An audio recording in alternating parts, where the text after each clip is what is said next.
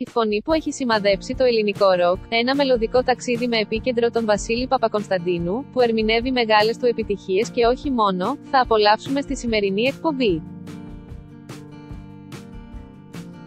Άρχισε να τραγουδά στις αρχές της δεκαετίας του 70, το 1972 καταγράφεται η πρώτη επαγγελματική του συμμετοχή σε δίσκο.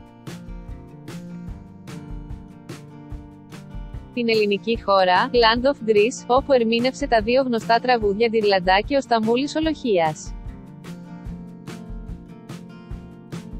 Την ίδια χρονιά, εκδόθηκαν και οι δύο πρώτοι δικοί του δίσκοι βινιλίου 45 στροφών. Advertisement. Από τις αρχές της δεκαετίας του 90 σύντροφος του είναι η ηθοποιός Ελένη Ράντου, με την οποία παντρεύτηκαν το 1994 και δύο χρόνια μετά, 1996, απέκτησαν μία κόρη, την Νικολέτα.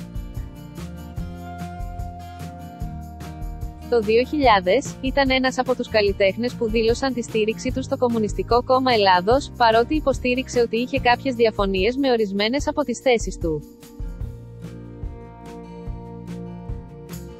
Μαζί με τον Βασίλη Παπακονσταντίνου τραγουδούν στην εκπομπή τους Sky, Χρήστος Τιβαίο, Μπάμπη Στόκας, Μίλτος Πάσχαλιδη, Τζορτζιά, Βιολέτα Ικαρή και Απόστολος Μόσιος και μας χαρίζουν μοναδικές μουσικές στιγμές.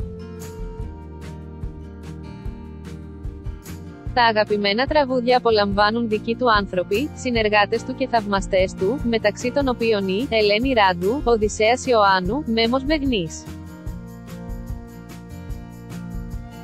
Ειρήνη Κολυδά, Καλλιρόη Μυριαγκού, Σοφία Πανάβου, Μιχάλης Τιτόπουλος, Ηλίας Μουλάς, Νίκη Βακάλη και Λεωνίδας Μαράκης. Οι φαν του αγαπημένου τραγουδιστή, έχοντας ως σύνθημα το Βασίλη, ζούμε για να σε ακούμε, δίνουν τον δικό τους παλμό στην εκπομπή.